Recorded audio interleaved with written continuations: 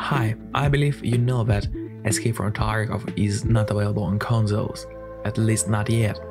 So far, it's strictly exclusive to PC. With that in mind, you might be looking for a PlayStation or Xbox game which is going to give you same or similar experience as Escape from Tarkov. So let's take a look at those 7 games which might be as interesting to you as Escape from Tarkov is.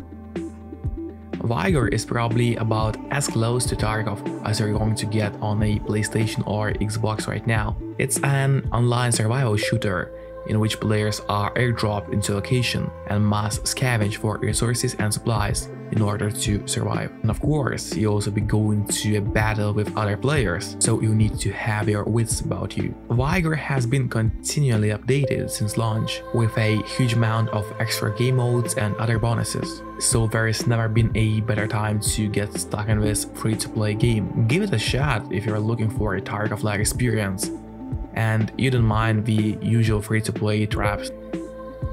Chernobylite is great for single-player fans. While it's true that Tarkov is technically not a post-apocalyptic game, but still the ruined cities and hardcore stylings that make Tarkov what it is perfectly translate to Chernobylite. Developed by Farm 51, this survival horror RPG tasks you with heading into nuclear exclusion zone in order to discover what happened to your fiancé. Just like Tarkov, Chernobylite is an unashamedly hardcore experience. You have to scavenge for everything you need to survive, and a single mistake could be the difference between victory and defeat.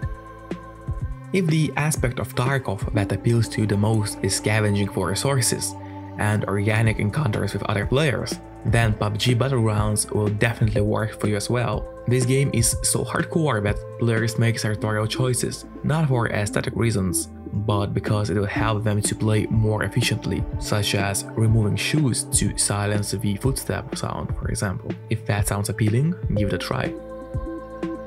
Though Tarkov isn't a battle royale game, its focus on modern warfare puts it in line with a game like Call of Duty Warzone. Players are dropped into massive map and must fend for themselves grabbing loot and dispatching enemies that came across. Warzone puts a spin on classic battle royale game mechanics by placing defeated players into Gulag, a location where you can battle each other for a chance to respawn. Warzone is a great fun, and if you can gather together a reliable squad, pick it on, then it's even better.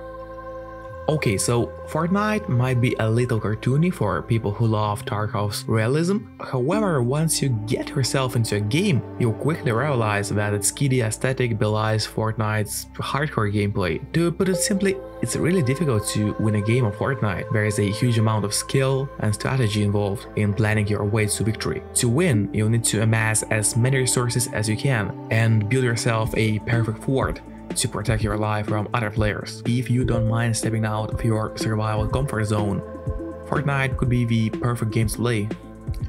Much like Chernobylite, Metro Exodus is a single-player odyssey, but it's well worth taking a trip even if you've never played a Metro game before. These games are set in Moscow subway tunnels, after a nuclear war has destroyed the Earth. You play as Artyom, who must embark on a journey across Russia in order to reach the far eastern edge. Metro Exodus is bleak.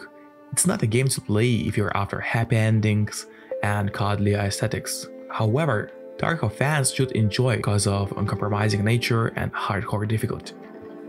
Last but not least, we have DayZ, which is an undeniable influence on Escape from Tarkov. It's an open-world zombie shooter with RPG elements, in which players are dropped into persistent world and forced to survive against undead and each other, of course. Just like in Tarkov, you have to scavenge everything you need from the world around you. And just like in Tarkov, other players are the most dangerous element which is going to come up against you. Check out DayZ if you don't mind the undead jumping around, and if you want a similar survival experience to Tarkov. And that's the end of our list for today. If you enjoyed the video, please hit the like button and consider subscribing for more content like that. And uh, I'll be forever grateful if you could comment and leave your feedback about this video. Or let us know what other games like Tarkov you enjoy playing. Thank you and see you next time. Bye bye.